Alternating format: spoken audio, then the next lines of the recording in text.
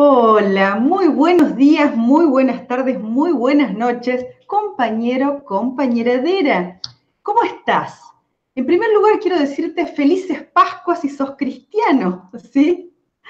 Hoy estamos festejando las Pascuas y si no sos cristiano es un buen día para eh, movilización de energías por ser Pascuas, ¿sí? Y si no sos cristiano, como te digo, es un buen día también para hacer pasos importantes. Hoy estamos con un invitado de lujo, como es Leo Enfi. Ya hemos estado en otras oportunidades.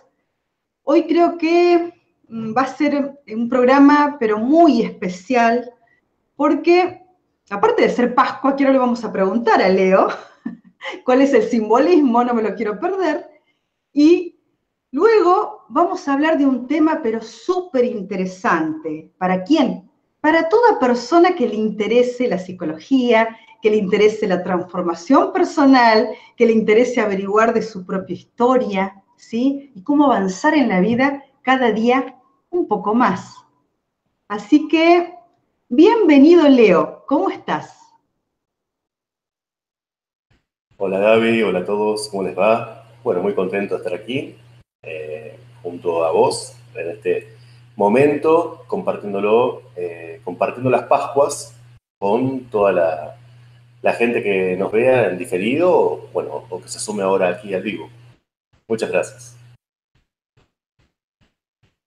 ¿Nos querés contar un poquito primero, antes de empezar? Así vamos esperando que llegue un poquito más de gente todavía. Mm, contarnos este, ¿qué, son las Pascuas. ¿Sí? ¿De dónde viene?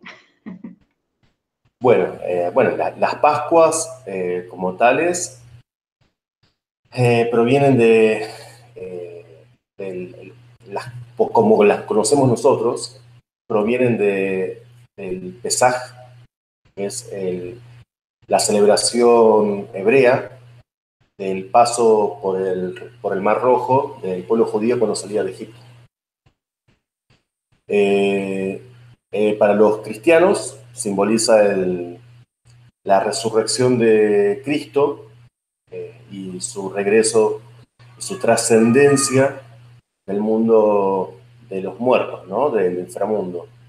Es, la, es eh, muy interesante porque eh, existen tres momentos muy marcados en los cuales la Pascua representa uno que es la la trascendencia de Jesús desde el plano inferior al plano medio, o sea, del mundo de los muertos al mundo de los vivos, y luego viene la de eh, Jesús del mundo de los vivos al mundo divino, que es cuando realiza la, eh, lo que se llama la transfiguración de Cristo. Y el tercer cierre es cuando, luego de esas dos subidas, desciende el Espíritu Santo a, las personas, ¿no? Son los tres momentos más importantes de, del Nuevo Testamento, eh, simbólicamente hablando como la promesa divina. Y acá anudamos lo que es la promesa a, a, lo que generalmente usamos ¿no? en las Pascuas, el huevo de Pascua. ¿Por qué el huevo de Pascua? ¿De dónde salió un huevo? ¿Qué tiene que ver un huevo con las Pascuas? La Pascua en sí significa paso, pero el significado intrínseco, lo que hay metido eh, dentro de esa palabra, es eh, la alianza, ¿no? Es una alianza entre un pueblo y Dios, y la divinidad. Una alianza implica una promesa, implica un contrato, ¿no? Pero ese contrato establece las pautas para que se cumpla y sea realidad una promesa. El huevo simboliza una promesa, porque el huevo simboliza un potencial de vida. Dentro de él existe la promesa de una nueva vida. Y los primeros que quedaron fascinados con toda esta filosofía del huevo son los egipcios. ¿Mm? Los egipcios tenían eh, muchísima, muchísimo, muchísima curiosidad, muchísimo respeto por la vida. Y la, el tema del huevo, el tema de que allí había algo que luego podía convertirse en un nuevo ser viviente, eh, les, fascinaba y bueno, de hecho, muchos de sus mitos, eh, bueno, a Ra, por ejemplo, se lo representa siempre con, siempre no, pero normalmente eh, con el, famoso el huevo de Ra, que era un, un, huevo primigenio de donde nació toda, nacieron los dioses, nació toda la humanidad, toda la vida, ese huevo.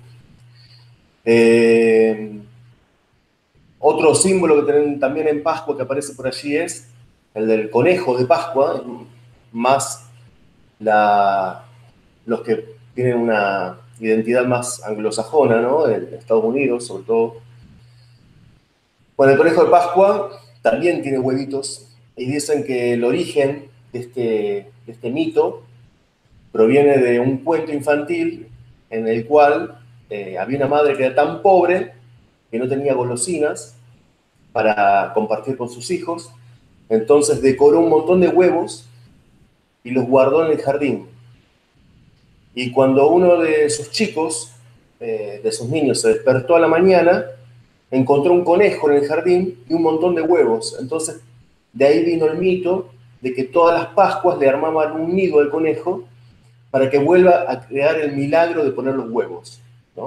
Y bueno, de ahí, eh, de ahí viene el famoso conejo de Pascua que acá en este hemisferio, por lo menos en, nuestra, en nuestro país, no es, sabemos que existe, pero no sabemos muy bien de dónde sale. Así que bueno, no sé si, si, esto contesta tu pregunta, pero más o menos la, la idea está, me parece. Claro que sí. Bien. Eh, es un día, como dijimos, este, bastante, bastante especial para casi todas las familias. Quiero decir también que hemos puesto este horario por cuestión de, bueno, por, por muchas cuestiones, ¿sí? Para estar tranquilos, ¿sí? Pedimos disculpas a todos los que dijeron en otro horario, pero bueno, es el que había libre y, y por ahí hay que aprovecharlo, ¿sí?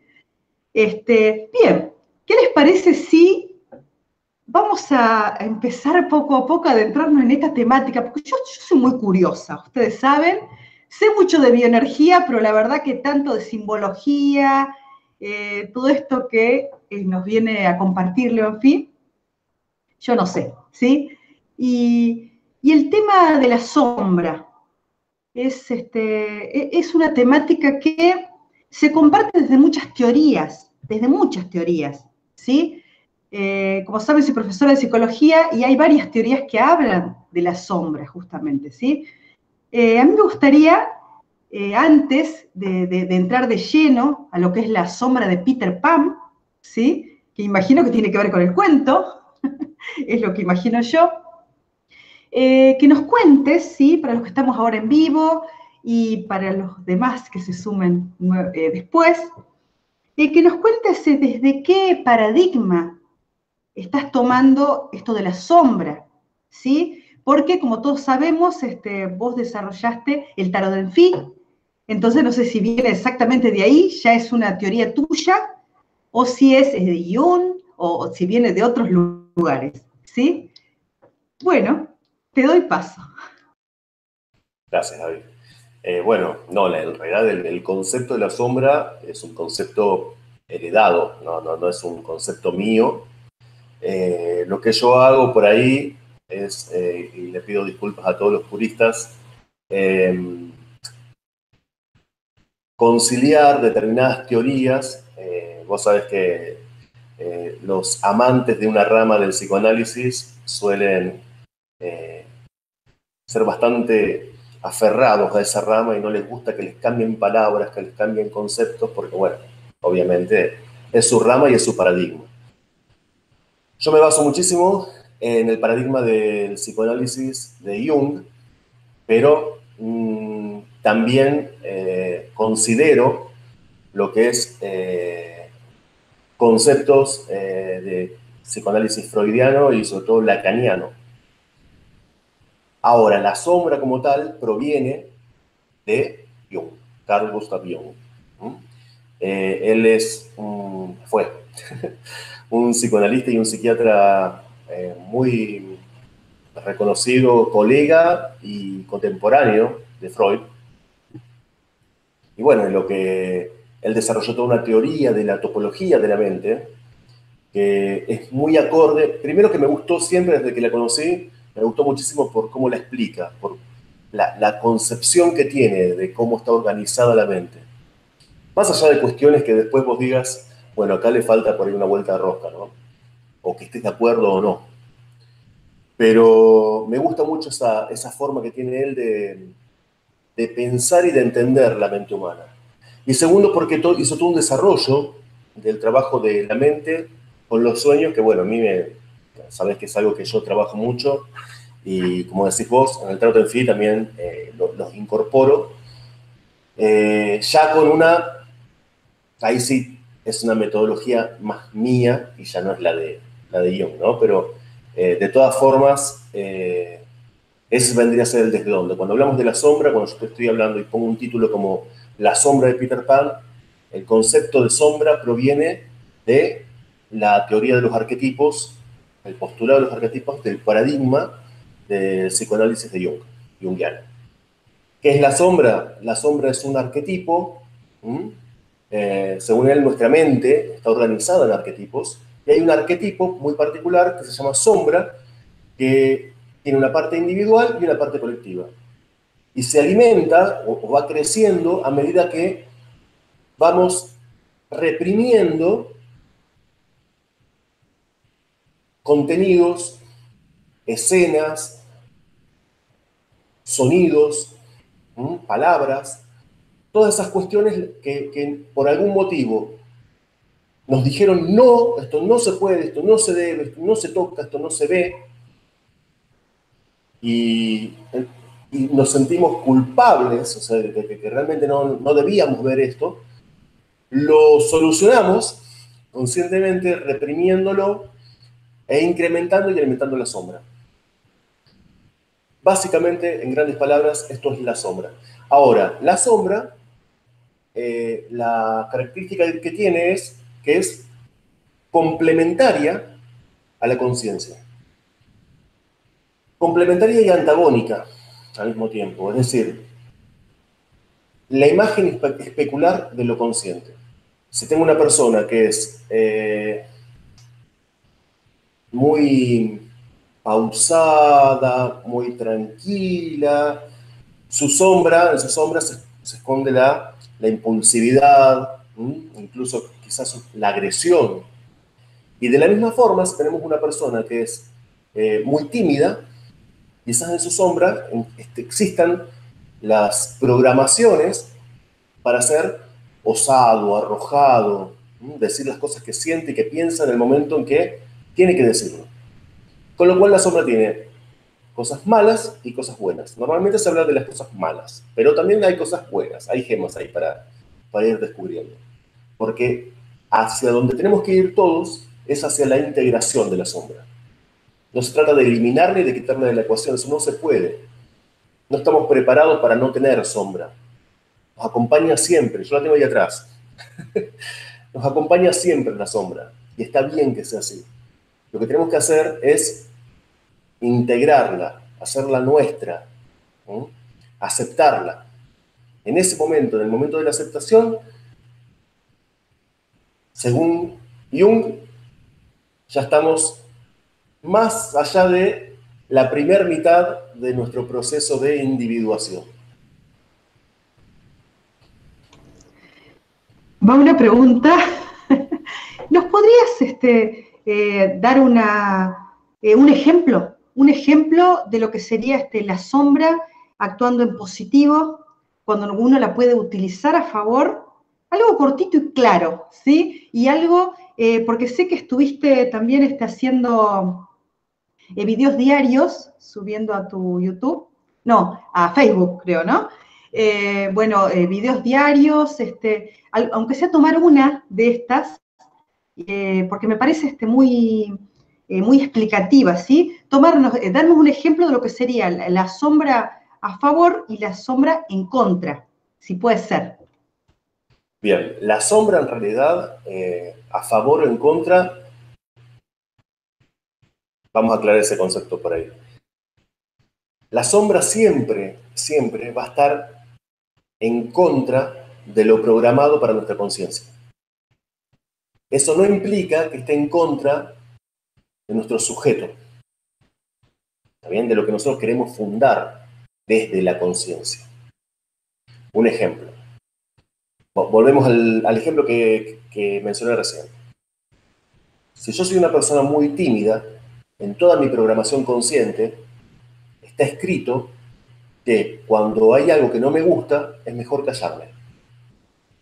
No decirlo y hacer de cuenta que yo no estoy acá, que no se den cuenta que estoy acá, que yo vi, que escuché, que me enteré de esto. Porque si no me van a, me van a querer ser, hacer partícipe de eso.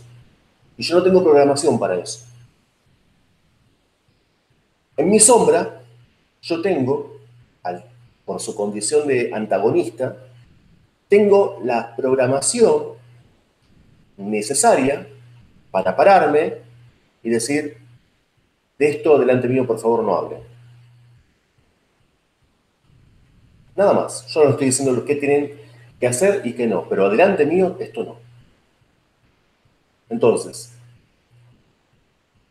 por otro lado, eh, podemos tener, por ejemplo, una persona, como decís vos, en, el Facebook, lo que yo estoy posteando son imágenes y preguntas que muchas veces muchas personas se hacen eh, y de manera repetitiva. ¿Por qué siempre me abandonan? ¿Por qué siempre parece que es mi culpa? ¿Por qué siempre llego tarde? Siempre me boicoteo. ¿Qué hay detrás de eso? Bueno, también son manifestaciones de la sombra. Ahora, de la misma forma que eh, ser arrojado no es la sombra, llegar tarde no es la sombra, eh, anularte frente a multitudes no es la sombra, ser un abandonado o abandonar compulsivamente tampoco es la sombra. Todas esas son manifestaciones de la sombra. La sombra, para poder entenderla, hay que empezar a usar técnicas y herramientas. Sola no la vamos a poder ver nunca. Y en ningún lugar queda mejor explicado esto que en Peter Pan. Así que, cuando quieras, te explico. Bueno, entonces, este, yo creo que eh, para dar un pantallazo general está bastante bien, ¿sí? Al menos yo lo entendí. Y voy a invitar, ¿sí? Luego de que Leo haga toda su exposición, ¿sí? Este, pueden, hacer, pueden empezar a hacer preguntas. Para hacer preguntas, ¿sí? Yo las voy a ir anotando. Así que este, preguntas, el que quiera hacerlo, en mayúscula y poner nombre, país y solamente en mayúscula, por favor, así yo puedo leerlas bien y se la puedo transmitir, ¿sí? Las preguntas van a salir, si las hay, después de la exposición que haga Leo, ¿sí? Vale también preguntar si no entendieron algo. Así que bueno, Leo, este, toda la suerte y realmente tengo mucho interés en escuchar cuál es la asociación y cuál es el simbolismo que está atrás de este cuento tan, tan famoso para todos, ¿sí? Hasta para los que no lo recordamos muy bien, otros que sí, Peter Pan. Así que vamos allí. Bueno, gracias. Bueno, Peter Pan eh, es un cuento muy famoso y más famoso se hizo después de eh, que lo haya eh, convertido Disney en un, dibujito, una película animada para niños. Sin embargo, en el cuento encontramos un montón de simbología, ¿no? un montón de arquetipos y escenas míticas también ahí. A ver, Primero, ¿quién era Peter Pan?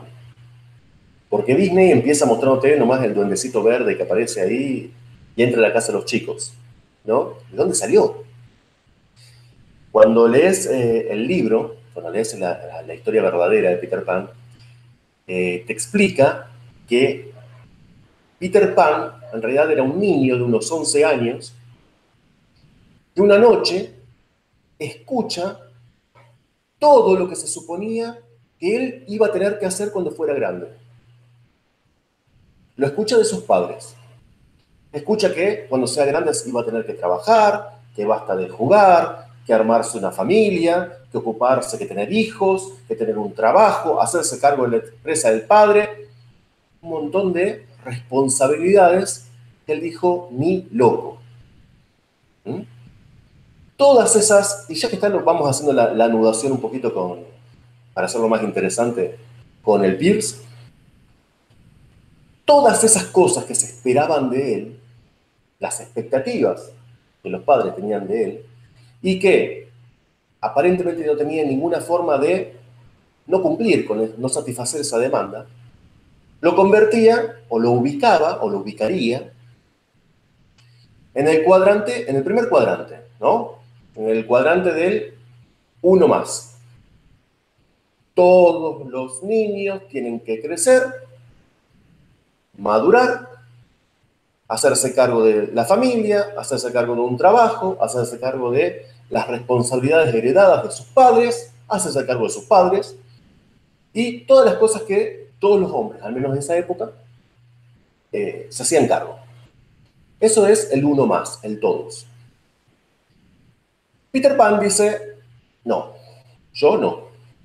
Y al decir yo no, lo que hace es restarse. Se resta de ese todos. El restarse de ese todos lo convierte en al menos uno, en el cuadrante menos uno. Ese menos uno es el tercer cuadrante. Es el cuadrante de, lo necesario. Para que Peter llegue ahí, necesita transitar y realizar una larga de circuito atravesando el cuadrante de lo imposible, que es el segundo cuadrante. ¿Cómo lo atraviesa? Realizando lo que es imposible, lo que nadie puede hacer. ¿Cuáles son esas tres cosas? A ver, porque son tres. La primera se va volando. ¿Alguien puede volar? No, nadie puede volar. Entonces, ahí tenés un, un hecho. Lo segundo, deja de crecer. ¿Hay alguien que puede dejar de crecer? ¿De vivo? No, es imposible.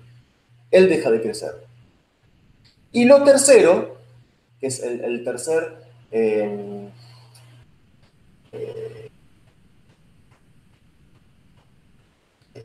el, tercer hecho, que, por ahí lo hace más significativo, es que su sombra y él son seres prácticamente independientes. Ahora, ¿qué pasa con esto? Peter Pan escapa de todo ese cuadrante, uno más, y va al reino de nunca jamás, donde logra todas estas cosas que dije recién que eran imposibles. ¿A quién encuentra en Nunca Jamás? Encuentra una figura femenina, así de chiquitita, que se llamaba Campanita, un hada. Y todos dirían, ay, sí, porque el hada tiene un, afecto muy especial por Peter y ven ese afecto bajo otra característica, pero en realidad no. No hay un amor que sea distinto, eh, que sea un, no hay un amor físico entre Campanita y Peter. Veamos cuáles son las características de Campanita. Campanita es gruñona, Campanita es sobreprotectora, es terriblemente inestable, celosa, eh, acaparadora. ¿A quién buscó Peter?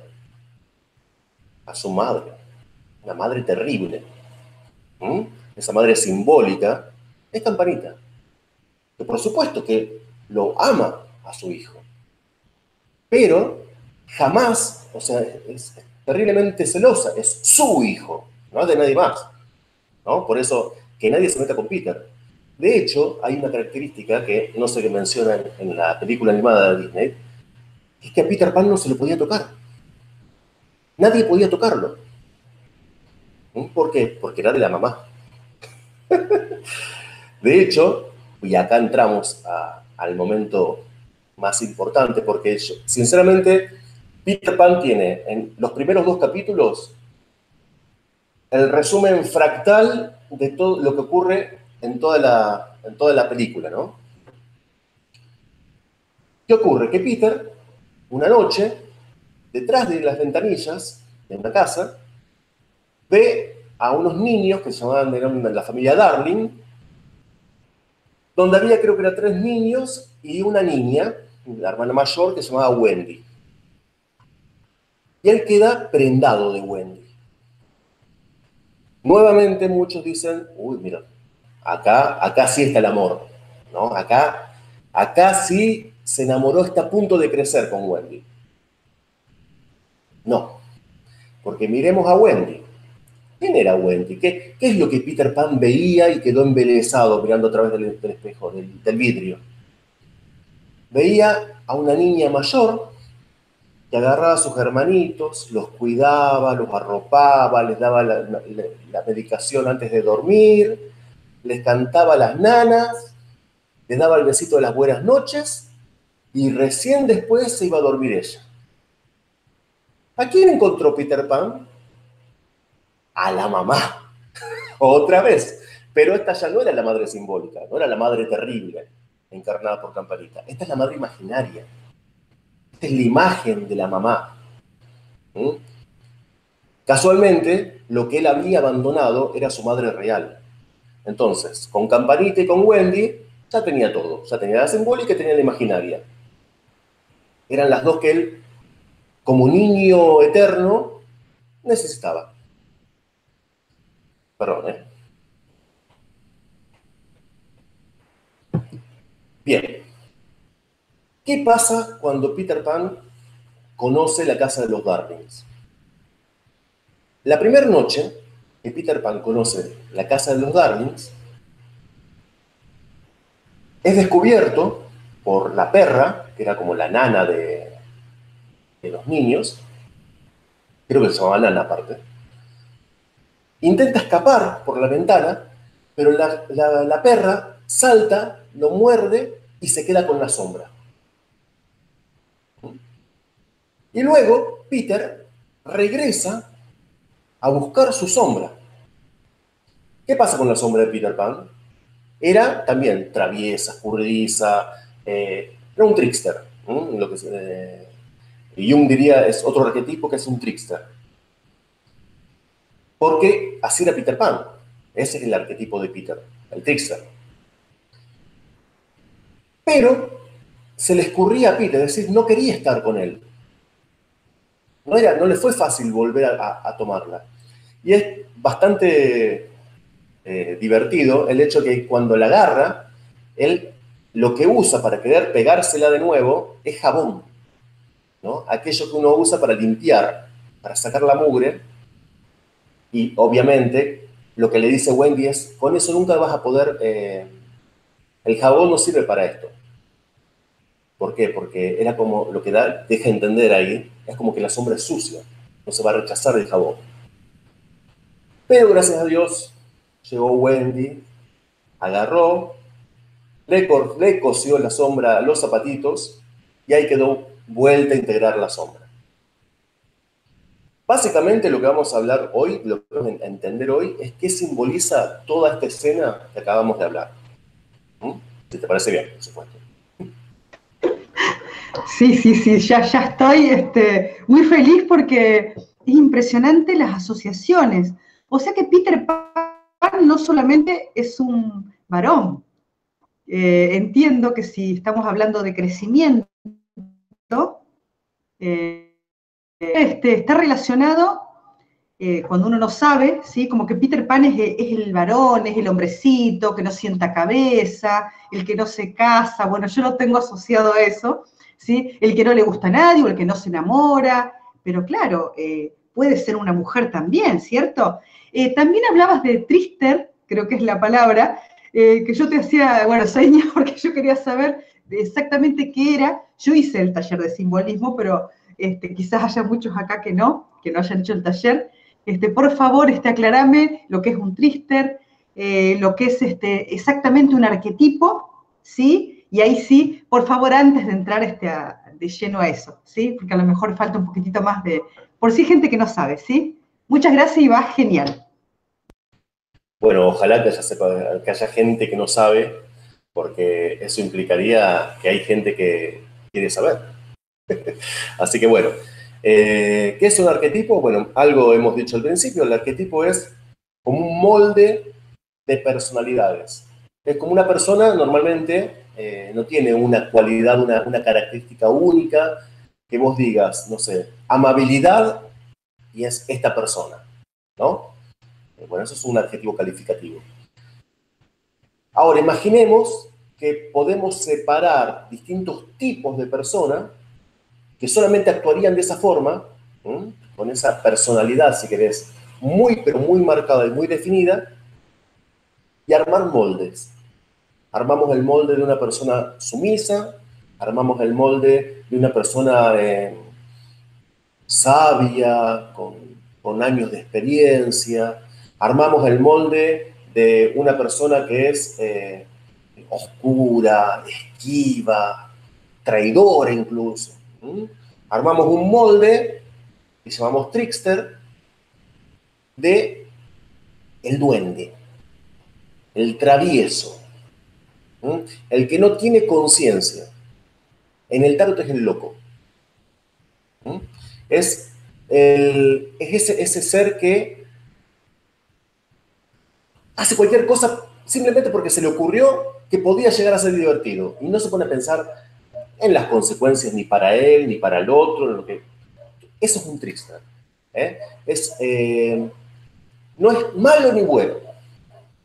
Es más, muchas veces es bueno, pero es tan travieso, es tan impredecible que eh, nunca sabes cuándo te va a salir el tiro por la culata con él, porque eh, simplemente porque se, le puede llegar a ocurrir que algo es bueno y te deja en banda, o sea, totalmente eh, solo, cuando vos contabas con él para algo.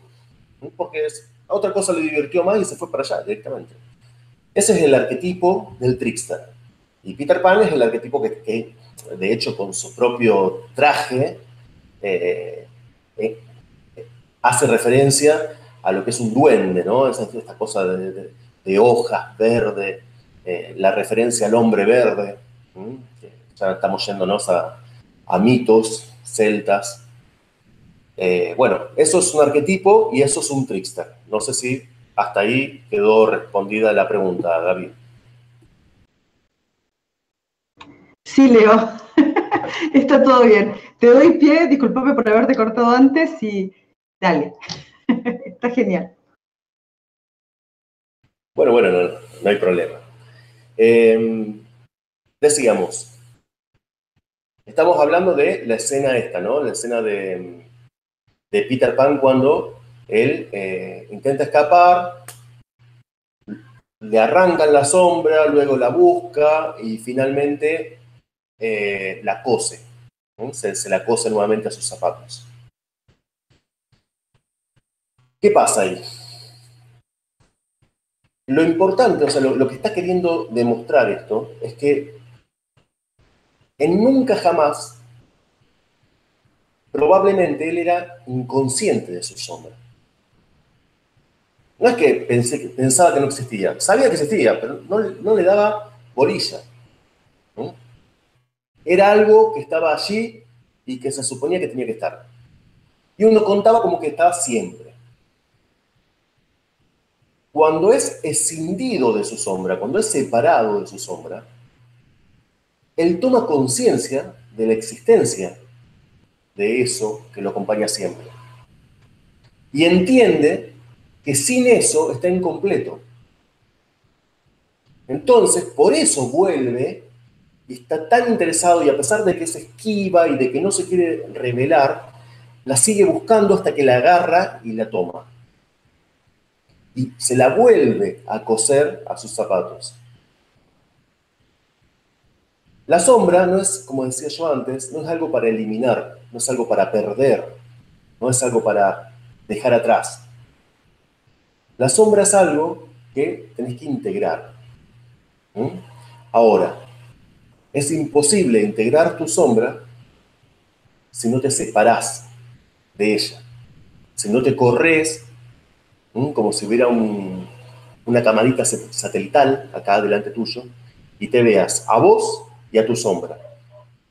Tenés que verla, tenés que detectarla, tenés que ser consciente, primero, de su existencia, segundo, aceptarla como parte tuya, y tercero, analizarla, animarte a ver qué hay escondido ahí, por qué está escondido eso, y qué hay escondido dentro de lo que hay escondido ahí.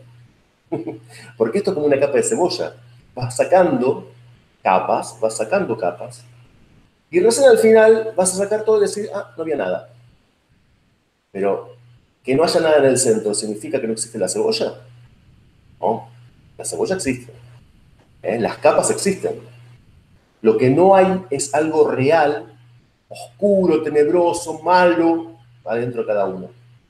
Están las capas oscuras. Es una cebolla bastante, bastante negra. Pero adentro de eso no está la semilla de la maldad. Son capas que están armadas ahí porque o heredamos de nuestro árbol o de nuestra cultura, o sentimos la necesidad de que no teníamos respuesta ante esto que estamos eh, viendo o percibiendo o intuyendo incluso, y entonces lo reprimimos para poder seguir adelante. Es un mecanismo de supervivencia. Si no hubiéramos tenido ese mecanismo de represión, probablemente hubiéramos quedado ahí eh, como las computadoras cuando quedan tildadas, o sea, sin posibilidad de seguir adelante. Ahora bien, si la forma de crear tu sombra es reprimiendo, reprimir, la forma de analizar tu sombra o, de, liberar tu sombra, liberar en, cuanto a integrarla, que no deje, eh, eh, porque la sombra tiene esa característica en el cuento del Peter Pan de, ser esquiva, porque la sombra no, no quiere, no puede salir a la conciencia. La forma de integrar la sombra es lo opuesto a la represión. ¿Y qué es lo opuesto a la represión? Es la expresión. Expresando. Hablando. Hay muchas vías, ¿está bien? Hablar puede ser una y es importantísima porque ahí está la escucha. Pero hay gente que por distintos motivos eh, tiene terriblemente bloqueada el habla. Y esas personas, quizás, una forma de expresarse es a través del arte. Esculturas, pinturas, música. Entonces, eh, esto es lo que a mí me gustaría que, se lleven, que, que hay en, la sombra de Peter Pan y que hay en mi sombra. Contenidos que yo necesito ser consciente de ellos para poder avanzar en este proceso de transformación personal. No voy a poder avanzar si yo no atravieso esa sombra y la integro a mí, yo no la acepto. Eh, aprovecho, bueno, para mencionar que el 14 y el 15 de abril voy a realizar un taller que se llama Descubre tu sombra, donde vamos a ver eh, herramientas, mecanismos para poder empezar a vislumbrar cuál es la sombra. ¿Mm? Eh, lo primero que podemos hacer sin ningún tipo de taller, sin ningún tipo de, de un otro que esté ahí al lado nuestro, lo puede hacer cada uno de manera consciente, lo único que necesitas es tiempo y dedicarle atención. Es una técnica que se llama proyección, o, mejor dicho, análisis proyectivo. ¿Qué significa esto? Dijimos que la sombra está llena de contenidos que yo reprimí. Por lo tanto, son contenidos que cuando se manifiestan afuera, me van a causar angustia, rechazo, enojo, ira, desprecio. ¿Por qué? Porque no las, voy a, no las puedo asimilar. Lo que está prohibido para mí, a nivel consciente, es decir, que eso que pasa afuera, lo tengo yo dentro.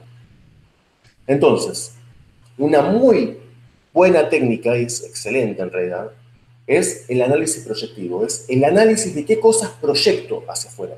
Cuando hay algo que me causa mucho, eh, mucha bronca, asco, eh, rechazo, furia, enojo, todas esas cuestiones, me la noto en una libretita. ¿Mm? Sí, ayer Pirulito dijo esto y la verdad es que me sentí como que tenía ganas de decirle, ¿por qué no te callas? ¿Mm? Si vamos haciendo ese ejercicio, anotando en una libretita, las que nos recordamos y las que nos van pasando, porque día a día nos va pasando, luego vamos a poder entender, quizás, sacar una especie de factor común ahí, ¿no? ¿Qué, qué es lo común en lo diferente? Entonces, con esas técnicas proyectivas, viendo hacia afuera las cosas que nos pasan, vamos a ir entendiendo qué componentes hay en nuestra sombra. Otra manifestación de la sombra que podemos hacer es a través de, por ejemplo, las frases que estoy publicando en Facebook. Ir mirándolas y viendo cuál de ellas a mí me llama la atención. Por supuesto, no, voy a publicar todas las frases posibles de todas las sensaciones posibles. Eso es, eh, eh, es imposible. no hay forma de poder escribir y reflejar todas las manifestaciones de la sombra eh, posibles. Pero ir mirando son las más comunes y decir, esta, me siento bastante identificado con esta, con esta no, nada que ver, esta otra tampoco, pero aquella otra a veces me pasa. Tomarnos el tiempo de autoexaminarnos, sin juicio. Esto es importante. No, no nos... Eh, no nos, eh, esto no, no, está a la sombra y no es este taller como para eh, sentirnos en deuda o, con culpas o, o, esa cuestión de, de sentirme mal por quién soy. Cada uno es lo que vino acá a hacer en esta vida. Y tiene un equipaje con determinadas herramientas. Lo que está en cada uno de nosotros es cómo usar esas herramientas. La herramienta en sí no es mala. Entonces, bueno, acá veo que me pusiste una pregunta, ¿no, David? Sí, sí, ahí te la escribí este, para que si, lo ves, este, ya empieces a responderla. ¿Sí? Bien, dice eh, Verónica Morales, de Ecuador, en este presente y con tantos cambios, ¿quiénes reprimen más a su sombra? Eh, y es muy difícil de responder esta pregunta y ahora te voy a explicar por qué, Verónica. Yo creo que en esta época eh, va a depender de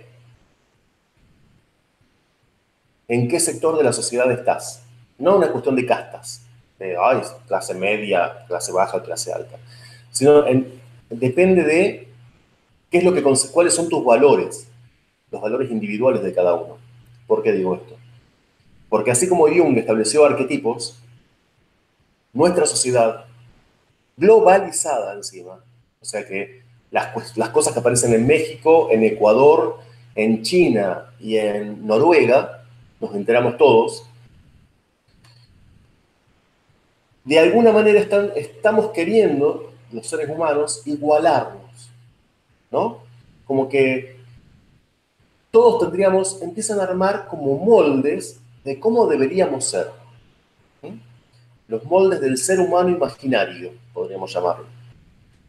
Y la verdad es que como esos moldes intentan abarcar a todos los seres de la humanidad, todos en algún momento nos vamos a sentir frustrados porque no podemos, eh, no podemos encajar en ese molde. Pero vamos a intentarlo con todas nuestras fuerzas, seguramente. Estarán los, eh, los, los, rebeldes que dicen, yo no me voy a identificar a eso.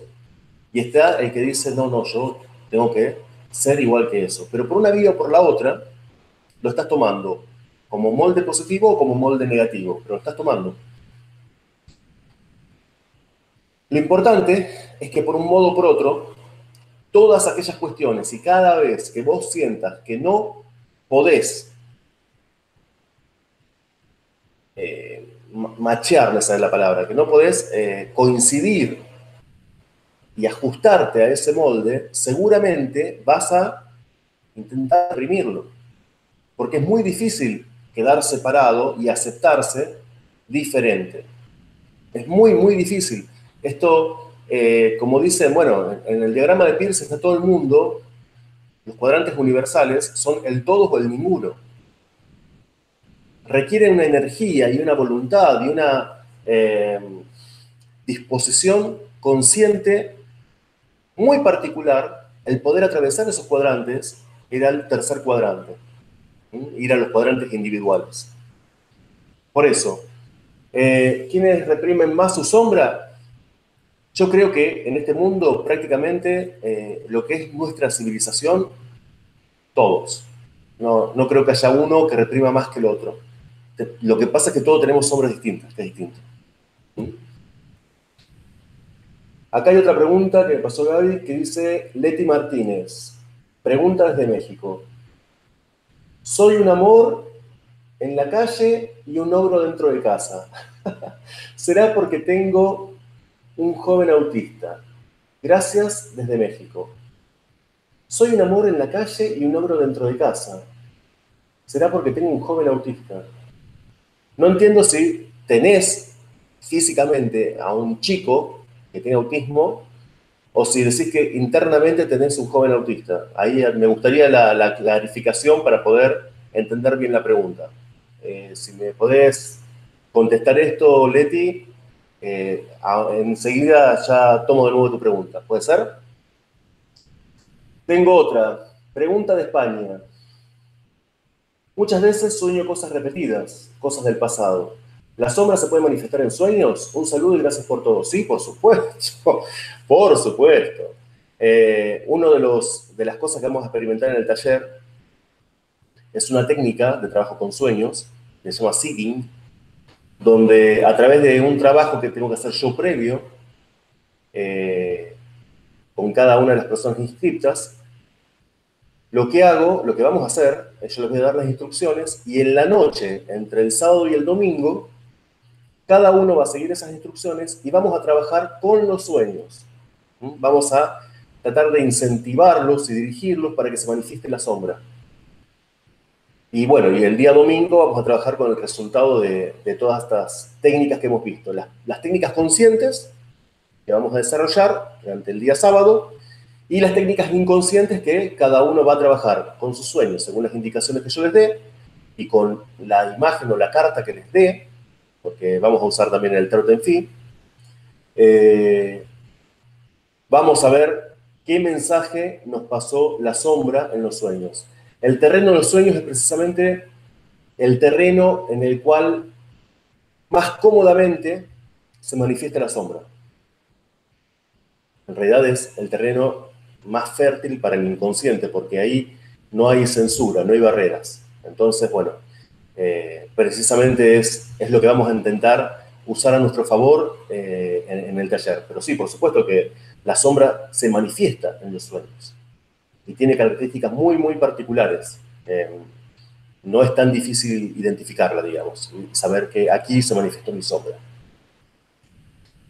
Aquí veo respuesta de Leti, Leti Martínez. Tengo un joven con autismo, gracias. Soy muy dura con él, pero sí ya va en el cuarto semestre de preparatoria. Gracias, saludos. Bueno, te felicito, Leti, a vos y a tu hijo.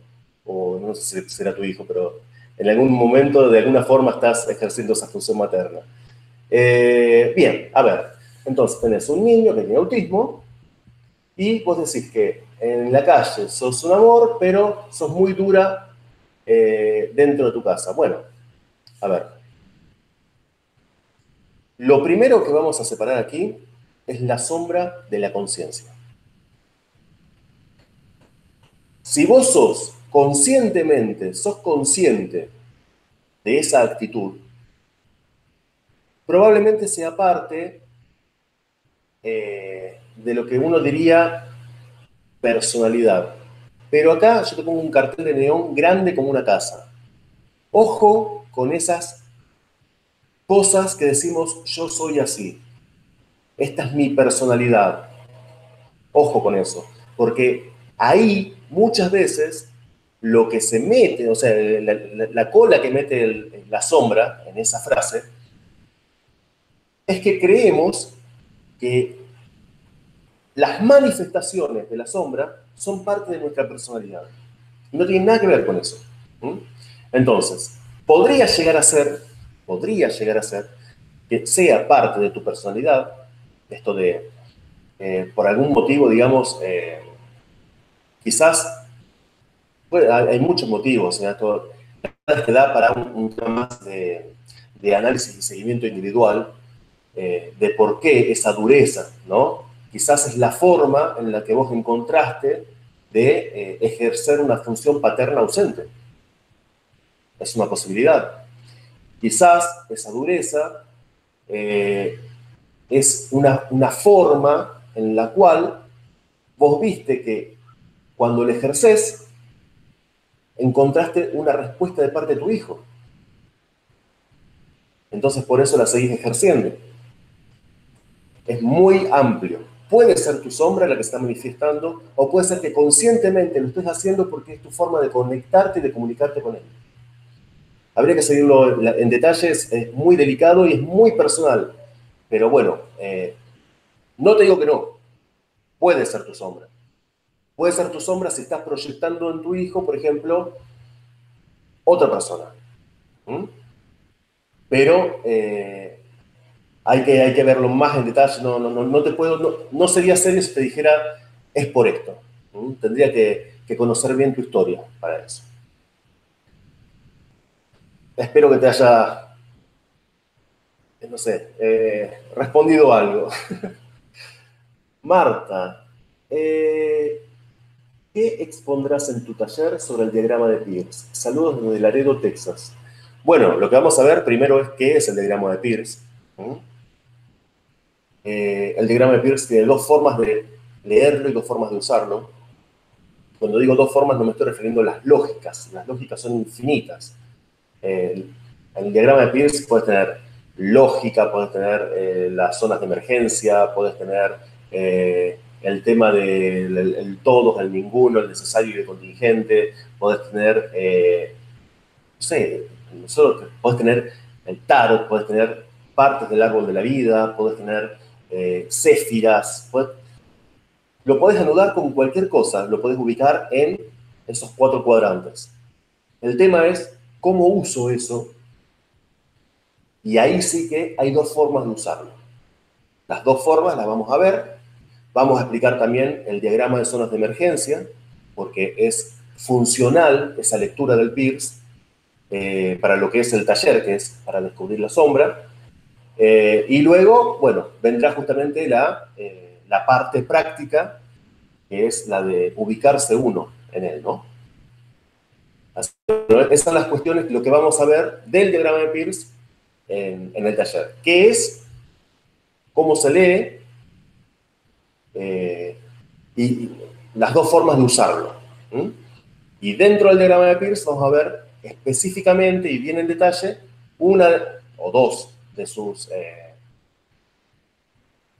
más conocidas y más amplias eh, formas de leerlo, que es, ya te digo, el tema de los cuadrantes en sí, todos, ninguno, necesario y contingente, y vamos a seguir también el tema de las zonas de emergencia, entre los inicios, entre mi falla, entre la falla del otro y entre el crecimiento.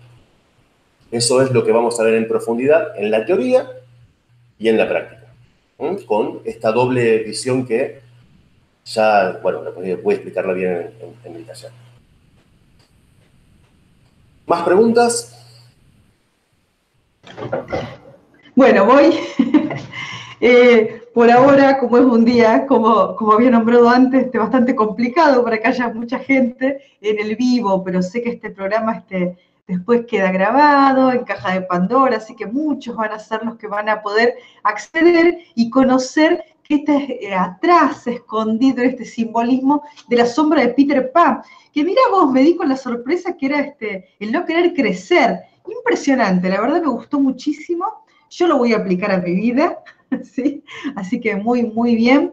Eh, muy feliz, eh, Leon Fi, que hayas estado compartiendo eh, toda esta maravilla de todo lo simbólico que tiene el tarot en Fi, que es, genial. La verdad que, te felicito porque siempre, este, siempre das este, visiones nuevas, ¿sí? De todo eso sagrado, de, eso, de eso desde siempre, ¿no? Esos conocimientos de antes. Así que bueno, muchísimas gracias por haber estado acá. Me gustaría que este, eh, aproveches, ¿sí? Y, este, y les digas a la gente este, cómo te contactan si quieren hacer este taller y que también sepa la gente que no vamos a dar el, número acá en público, pero es muy económico el taller. Leo hace los, talleres, los cursos muy económicos, o sea que no hay mucha excusa. Si lo querés hacer, averigua, pedir información a Leo que vas a ver que lo vas a poder acceder seguro. Aparte son dos días, creo, dos días, lo del sueño, todo incluido. Así que bueno, te paso la información para que te puedas despedir de la gente, ¿sí? Y también este, digas exactamente a dónde te contactan, ¿sí? Para que puedan informarse del taller. Y mucha, mucha suerte para el taller. Te paso la palabra. Muchas gracias, Gaby, por tus palabras y por tu espacio acá en, el canal de Caja de Pandora. Eh, bueno, el taller se llama Descubre tu sombra. Lo voy a realizar los días 14 y 15 de abril de forma online a través de una plataforma que se llama Zoom. Eh, serán dos horas y media cada día, o sea, son cinco horas de encuentro. Y además tenemos todo el trabajo en sueños que cada uno va a realizar durante la noche del sábado. El costo del taller lo puedo decir, no tengo ningún problema. ¿No? No lo digo. Pero bueno, el que lo quiera saber, eh, no tengo ningún problema, yo tengo ya toda la, información eh, escrita. Simplemente enviarme un, mail a leonfi.gmail.com. Eh, si no, se pueden contactar por mensaje en Facebook. Me pueden pedir amistad, me pueden enviar un mensaje en Facebook o por la página de, del Tarot en que hay en Facebook eh, tengan en cuenta que FI se escribe PHI.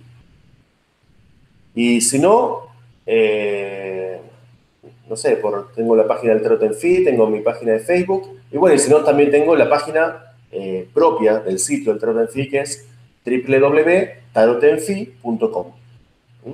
Por cualquiera de esas vías, me, me dicen estoy interesado en el taller, me envían un mail, la dirección de mail, y yo como respuesta eh, les envío toda la información. Ahí me tienen que decir si están en Argentina o están en el exterior. Porque en Argentina hay ciertas formas de pago que no, no están habilitadas cuando son dentro de Argentina. Entonces, en base a su, lugar en el mundo, les envío la información que corresponde con el precio en dólares o en pesos argentinos según corresponda. Eh, como dice Gaby, la verdad es, eh, es, muy accesible, no, no, es ningún precio exorbitante. Y, pero bueno, pedir la información es absolutamente gratuito, así que el que esté interesado me lo pide, yo le informo y después la decisión queda en cada uno de ustedes eh, qué les parece. Eh, ¿Hasta cuándo se pueden inscribir? Como yo les dije que hay todo un trabajo de sueños, hay un seeding que vamos a realizar el sábado a la noche. Eso requiere de que yo esté una semana preparando persona por persona, asistente por asistente, cuál es esa semilla con la que vamos a incentivar los sueños en eh, la noche del sábado. Por eso necesito que las inscripciones estén hasta el 6 de abril, para poder tener yo una semana, para poder tener de cada asistente este trabajo personalizado uno por uno. ¿Mm? Esto sí, necesito hacerlo yo y tengo que hacerlo con tiempo, no lo puedo hacer eh, online, digamos, en el momento del taller. Por eso estoy pidiendo que las inscripciones estén para el 6 de abril. Eh, no sé si queda algo más. De parte mía, simplemente agradecerte, Gaby, agradecerles a todos por, por estar aquí en un domingo de Pascua junto a nosotros. Y bueno, y a quienes nos, vean de forma diferida, también enviarles un gran abrazo. Y ojalá algunos de ustedes los encuentren en el taller y compartamos y recorramos estos temas eh, que, bueno, a mí particularmente me, entusiasman mucho eh, y, y les sea fructífero y les sea útil, porque para eso es un taller. Si no, sería un curso.